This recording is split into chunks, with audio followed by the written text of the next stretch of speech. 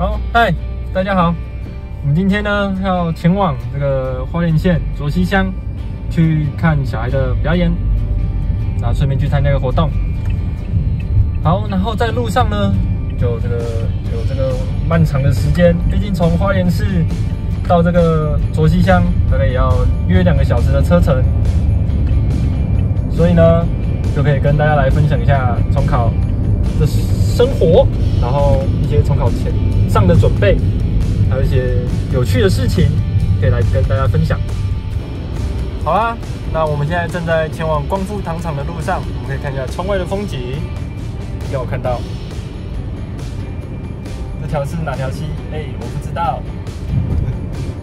好，那我们来简单讲一下我们的重考的一些历程。好，然后我们有在第一支影片有讲到说，我是重考两年。然后上台大医学系，那重考两年也就是意味着我考了三年的大考。好，首先先讲职考的历程好了，在第一年职考。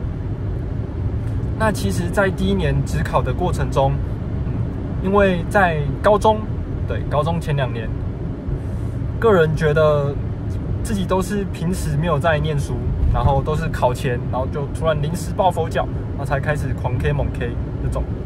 然后，直到要高三上，也就是学测前期，高三上的时候，自己也没有到非常的认真，然后去念，去静下心来，然后去念每一个科目，然后去把每一科都顾好。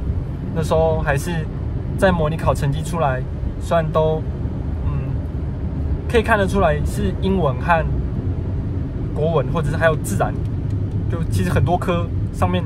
有不足的地方，但其实自己都想说，哎，应该可以照着国中的经验。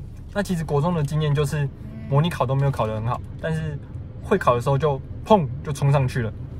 那想说，哎，模拟考没考得这么好，嗯，也没关系啊，大考就会考好了啊。我就抱着这样的心态就去考了学测，对，然后英文就掉了两级分，自然掉了一级分，对，现在在。想考医学系中，那自然是几乎是最不能掉分的，因为大家一定都是拿满级。好，我就这样掉分的，对，所以就去考了职考，采英数化生这五科，英文、数学、物理、化学、生物这五科。那数学我自认为啦，那时候自认为，哦，是高中一直在念、一直在念、一直在念的科目，一定很强啊。所以我在高三下，也就是要准备职考那段期间，除了课内。就是老师上课，哎，好，我有听，然后讲义的习题有写完，好，我就当做是念过了，我就没有再去复习说，哎，去很认真的去钻研说到底会考哪些题目，然后出题的方向是怎样子。对，这是只考上数学的部分。那再来是，啊，刚才提到的英文，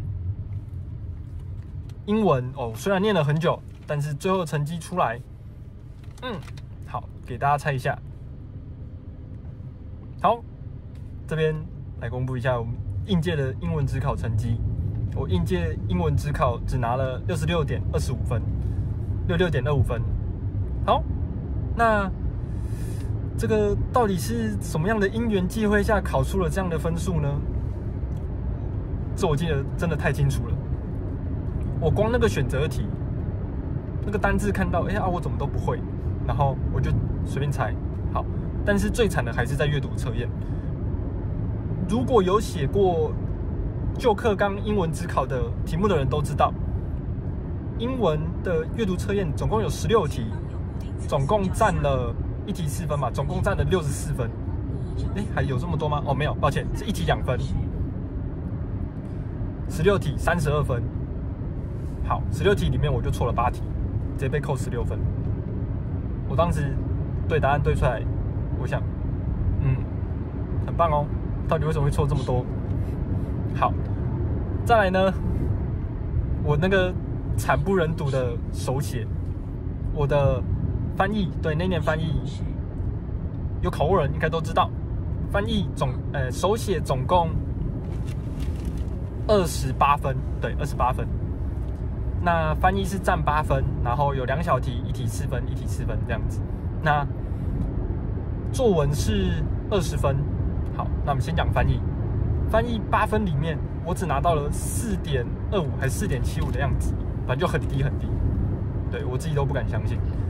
然后另外更惨的还是作文，那个作文实在是，哎，二十分里面我只拿了八点五分，好，这真的很惨，对，因为我在考场上，然后就是没有做足准备，那变成前面的前面的选择题就写得很慢。然后只考又只有八十分钟，对，一科就只有八十分钟，那对，那导致后面的时间就直接被压缩到，那我写作文的题目可能也当时也没有练上去，那就写得很慢。那当时我记得我只写到一面，然后又加上背面不到三分之一，然后又草草了事，然后得到八点五分，我觉得好了，就当对写的太少，然后又写的没有很好这样子。好，明星冰果店没开，来到这个姑苏糖厂，然后吃冰，耶，